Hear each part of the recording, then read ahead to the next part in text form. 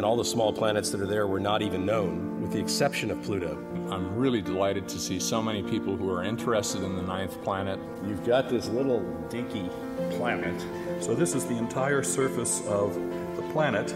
There's this angle, the resonant angle, phi 32, which is three times the longitude of Pluto, which is basically the sum of the angles which locate in the low inclination case how far around the orbit uh, the planet is from a reference point. If you let the planet become more and more oblate, you get central flashes. You know, it's, it's a shame we didn't have IRTF back when the sub-Earth latitude was down here and really covered the entire planet. It turns out that 45 years after Pluto was discovered, we knew very, very little about it. We knew where it was, we knew um, its name, we knew that it had a rotation period of about 6.4 days, and of course, we knew that it was a planet.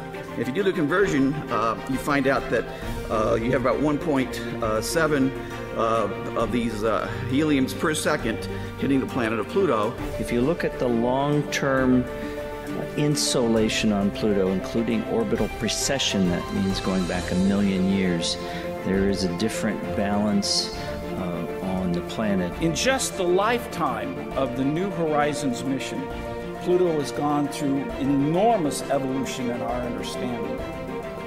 From a planet with a single moon to, to a much more complicated system. The topography of the planet, the large scale topography of the planet that you infer in your talk, is in fact very important for uh, when we discuss atmosphere and the stability of ice in various locations.